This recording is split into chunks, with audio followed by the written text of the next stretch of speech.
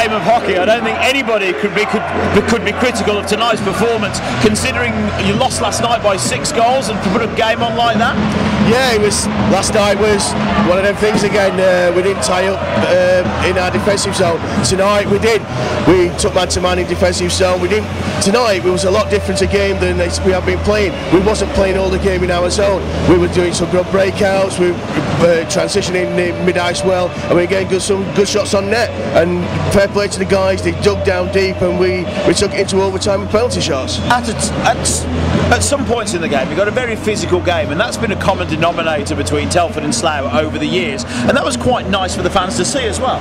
Yeah, um, we're, we're, a, we're, a, physically small side. Uh, we've got a lot of young guys on the ice, and for us to be going out and taking these bodies and taking a, a, a body against these bigger guys, it's, it's, a credit to the guys and it's a credit to the, to the whole team and a, and a great team effort today. And a good performance. And as we look forward to next Sunday, a Telford favourites putting an orange shirt back on. Yeah, Scott McKenzie returns next Sunday, uh, and that's going to uh, increase our firepower tenfold. Uh, we know we know what we're getting with Scott. We know he can put the book in the back of the net. He's great in the dressing room. He's great on the ice, and he's going to bring a lot to the club. And Tom and yourselves still talking to possibilities of other signings in the near future as well. I think we may have another few bodies in by next weekend. Yes. Thank you very much. Join us next Sunday for ice hockey action when the TRS Telford Tigers are back home here at the Telford Ice Rink.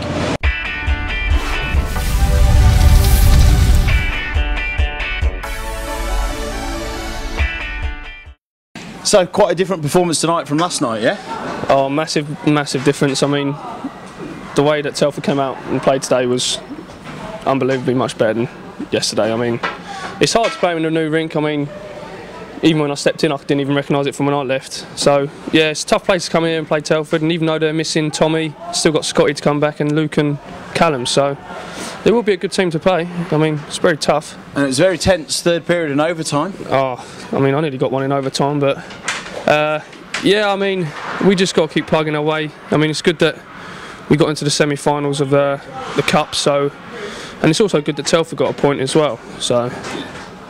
Fantastic. Well done. Thank you, Dan. Thank you very much.